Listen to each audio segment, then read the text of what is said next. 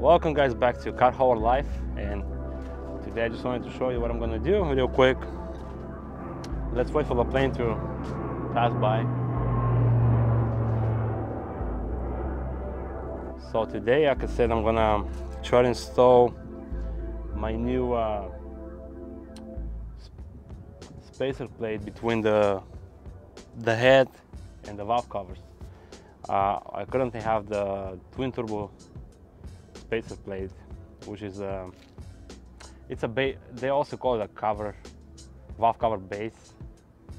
Bunch of names anyway. So I have the twin turbo one with the rail that's going inside for the IVAs, and I have the the single turbo with the one plug on the side. Let me show you real quick. So this is what I'm talking about. You see how the paint is all peeling and stuff? So of course I want to get rid of that this is gonna go away. And let me show you what I mean by the by the two plug versus one plug. See the twin turbo has uh, two plugs on the side on the driver's side. So this is going away. I'm also gonna replace the the sensor harness. I apologize for this camera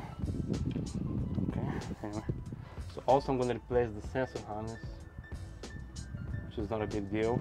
I have a brand new one. And uh, with the new sensor harness, I'm going to put a new boost sensor. Yeah. Let me show you what I got. This is the valve cover base. I had a powder coated chrome which is you don't see much. And I also have the 12 gauge mirror brackets I'm going to be installing today all together with the brand new filters for the air cleaners. Brand new filters. And yeah just uh, just a little maintenance little upgrades I say.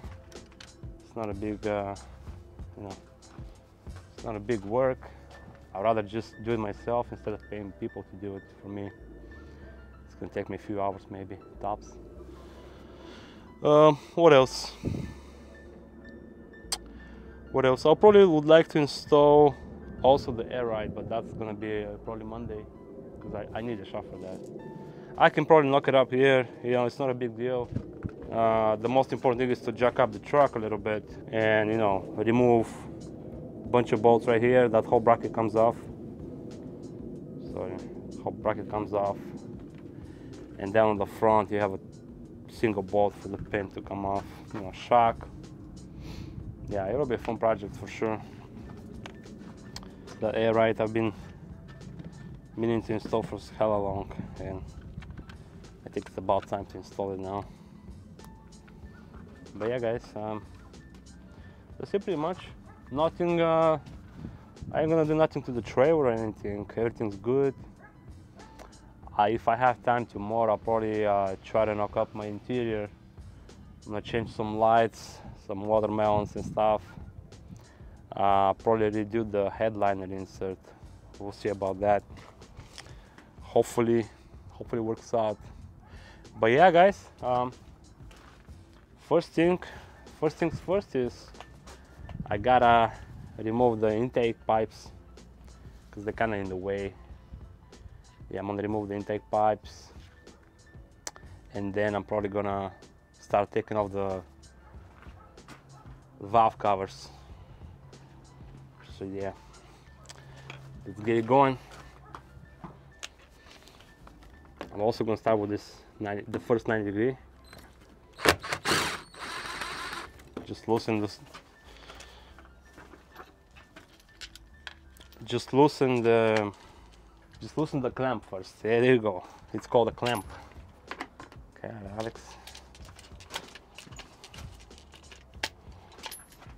I'm losing words, guys. It ain't easy. It's not easy to be stupid. Okay, I'll go the other side. That's it. I'm just gonna put it on the side. I usually like to put it behind the truck. That way it's uh, safe and nobody's gonna like step over it or run over this thing. Oh, there you go. Put it behind my truck right here. Hopefully I don't breathe too much too hard on this microphone.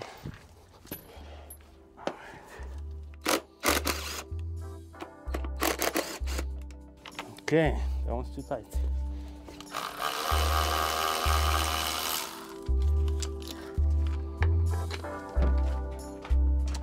You get the deal. I'm just gonna knock it up, show you next.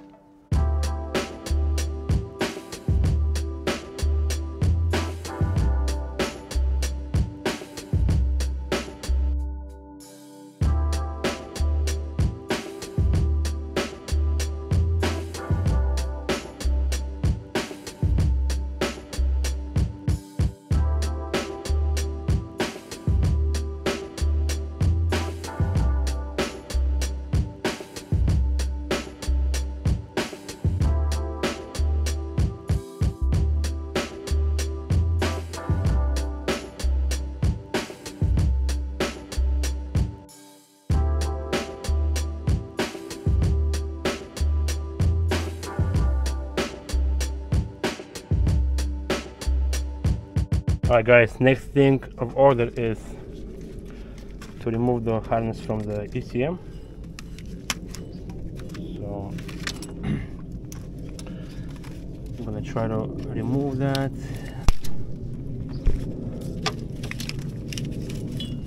Okay, that's that. The one plug that's unplugged.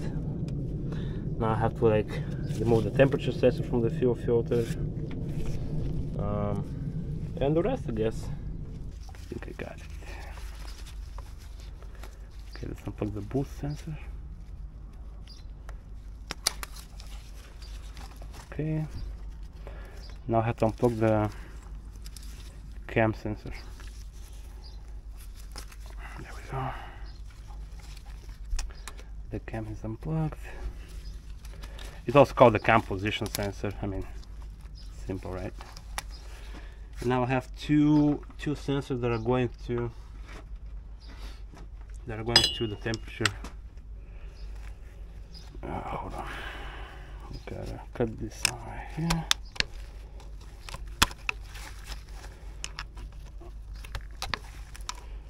I got a lot, a lot of cleaning to do a lot of wires a lot of stuff. Okay let's see what's inside this wiring room Alright. Now there is a sensor that is not plugged. It's called coolant diverter valve. It's because this wiring harness is from a BXS engine. And that's why I'm kind of having a little bit extra plugs and stuff. But that's okay. That's not a problem guys. Now I have to kind of reach down and try to unplug the crank sensor. It's all the way down in the engine. So that'll be a little pain, but not too big of a pain. Let me see if I can show you. Ah, you see? It's not a big one. I mean, not a big deal. Here we go. Okay, now I gotta cut this and I also put a towel on top of my engine because I removed the spacer. And it's all exposed. So always make sure your engine is covered I mean the top of the rockers and stuff. That way no dirt comes in and you know destroys your cam and rockers and everything. Okay it's pretty nasty. It's normal nasty is normal. And now the hardest part I think would be those coolant sensors. Because they are tucked in way down right there if you can see. So it's gonna take some time to get to them. But yeah you guys stay tuned. Whew. and I'll show you. Okay guys, let me show you something that I think it's important though. So I'm trying to plug in the coolant temperature sensor, right? This is how it is. There's an opening in the front that I render I ran the wire from top, I fed it into the hole and if you can kind of see over there see if I can show you all right okay. so the sensor right behind this uh, the water pump housing extremely hard to put a finger in there let alone a hand. So I'm gonna have to kind of play with this now trying to feed it and uh, hook up the, the, the little sensor harness. So wish me luck. Hopefully hopefully works out. Otherwise I might have to take a bunch of stuff off and that won't be fun. That won't that will be miserable guys. All right so the most important thing is to find out where the actual I think I got it. Can you see over there?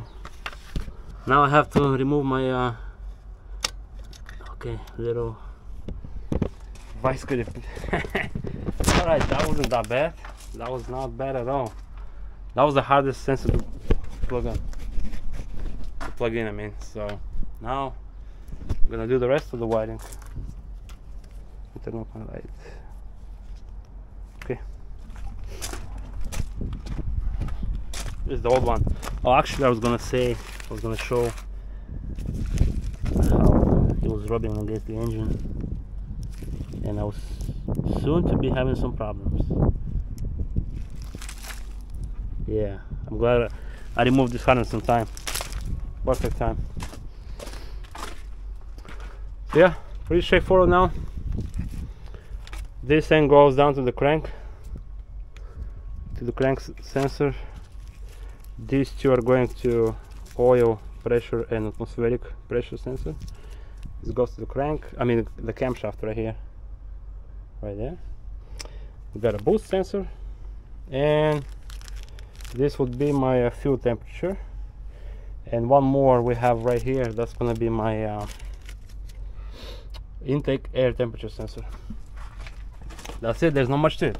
We got intake air temperature fuel temperature we got cam position crank position boost oil pressure atmospheric and coolant. Eight sensors guys. That's how simple this engine is. Eight freaking sensors I like it. I like it. I'm gonna be installing the new valve cover spacer. Or valve cover base. I got a brand new harness from CAT this is the part number whoever's interested.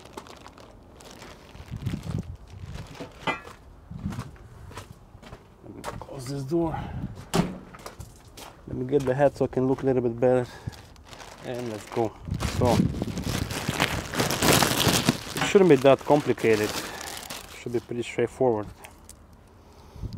The only thing I'm gonna have to do is um, actually supposed to run this through the hole right here if you can see. So this will be the driver's side and um, you gotta run like this. Just make sure you don't mess up your wires while you do that.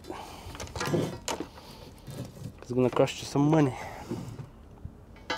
All right so.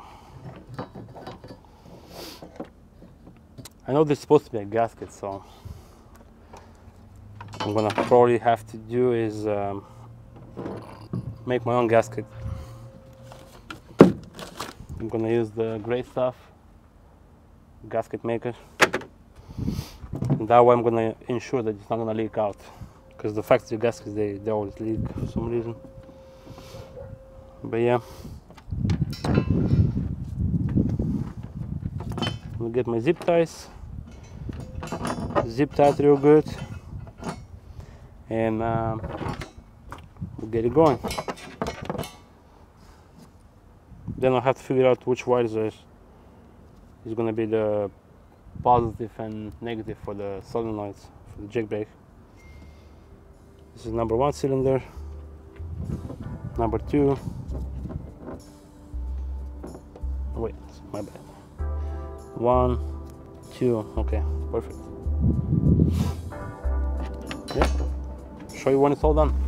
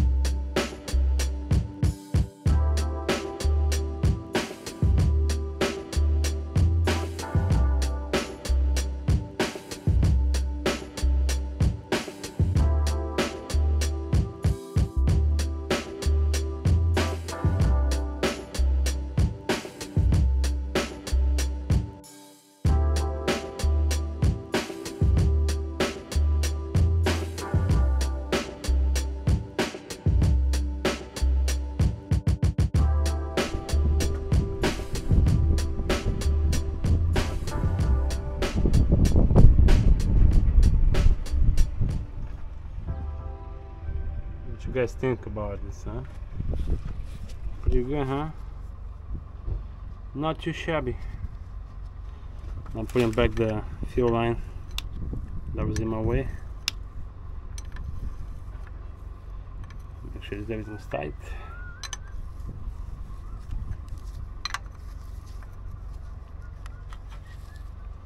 But not too tight. Okay.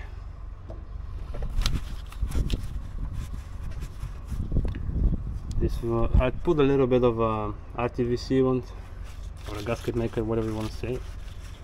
Whatever you want to call it man and uh, it should be good and should be good till tomorrow. It'll dry up.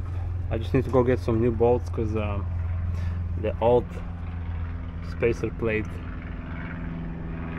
or a valve cover base whatever you want to call it was um, used longer ones and short ones.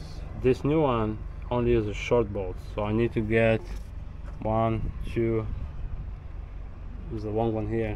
I'm gonna use one three four and three on the other side. So I need like six or seven short bolts that I'm gonna do. I also decided I want to clean up the, the harness a bit. Like I want to clean this whole thing a bit because it, it, looks like you know it don't look good. So I'm gonna close the I'm gonna put the, the valve covers now so nothing gets in and I'm gonna start organizing the wire here. Putting it together. Hopefully I can make it look better. Yeah. I'm gonna fire it up later. Make sure it runs good. What's happening guys? Day number two. About to finish up the wiring. So I decided to um, clean up the firewall like we saw yesterday. Um, so basically kind of clean it up a little bit and I'm gonna run everything in one like a one uh, loom and across the firewall. Ideally I would love to like do a hole right here or right here somewhere and run inside and clean all this thing out. But that would be probably a little bit later. Right now I'm just gonna do this so I'm gonna clean up a bit. I remove the horn. Horn's gonna go down right here somewhere. I'm gonna buy some aftermarket horns and make them even louder. Um, but yeah there's nothing there's nothing much to it. Just you know take your time and it's not as hard as you can as you think it is. I bought some uh, brackets for here. I'm gonna hang the wire just like that. It's gonna be nice and clean. And um, yeah man that's about it. I had to relocate the fast pump relay right here. So I'm gonna hook it up later. And I'm just hide it behind the the cab harness and um, what else? This is the harness for the AC coolant level and um, what is that? The washer pump. So I'm not sure it, it used to go right here. It runs on this side. But I kind of like a more cleaner look so I think I'm gonna run it like that and on this line as well and way I'm gonna have just a little loop co coming here. If you have a, if you have a Peterbilt you know how when it comes from here sometimes it just it just hanging too low to like the fan and everything. But when you put it here it's to be away from everything and it's to be much cleaner. You can even route it behind a little bit and hide it so it's to be even better. Yeah guys. Just like I said take your time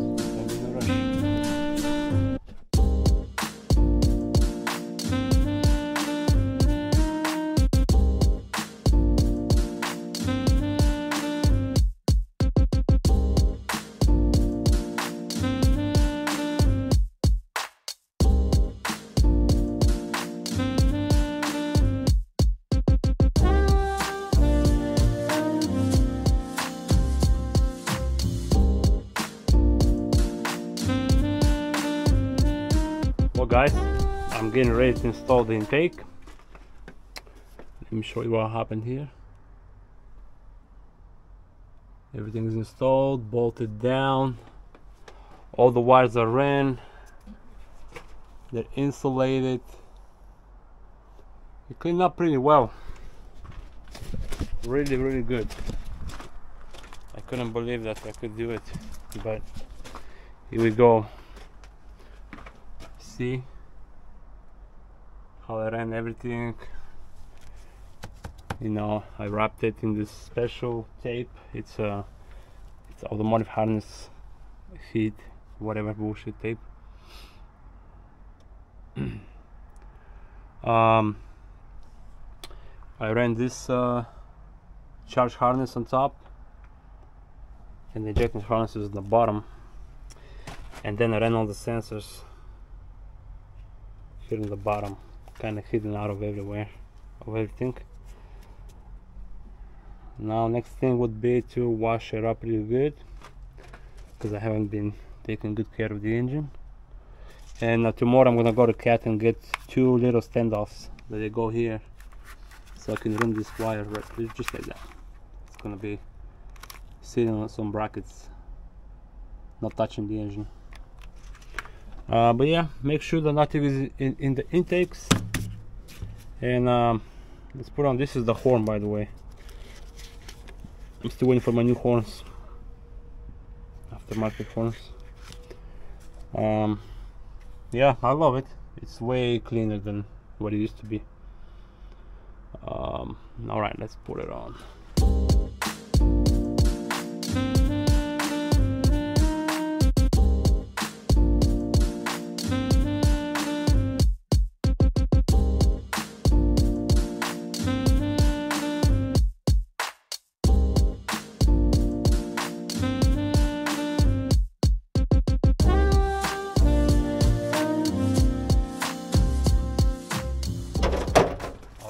let's check again.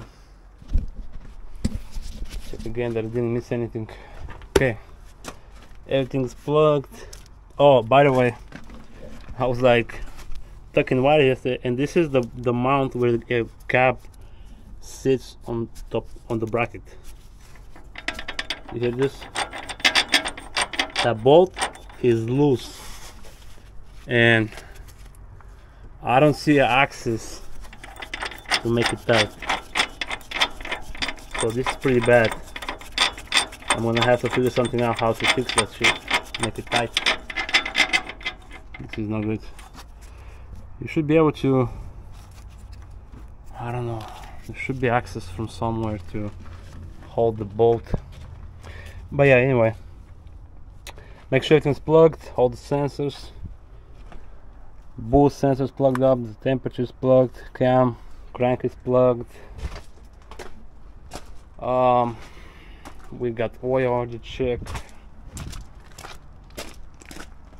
I hope it starts right away without problem but I'm, I'm thinking something's gonna be off so. Uh, alright well let's give it a try I guess guys. Let's start her up and see if she uh, gives me any problems. Hopefully not but you never know Okay, let's let's get it.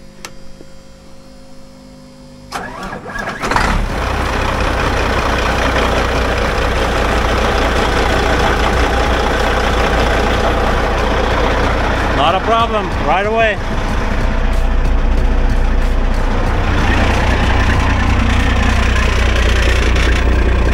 This just uh, the deck.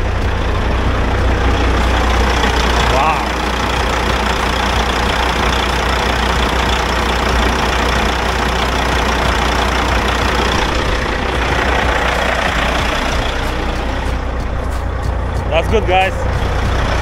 That is great.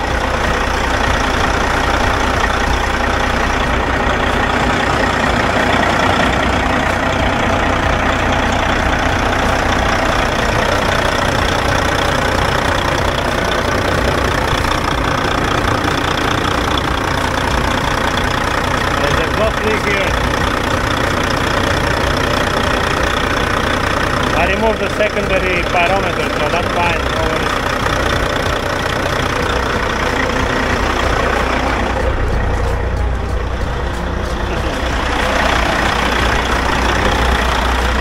All right. That's enough now. Everything works. Everything is hooked up correctly. I would like to take it for a test drive because I put a new boost sensor, so I might do that. We'll see.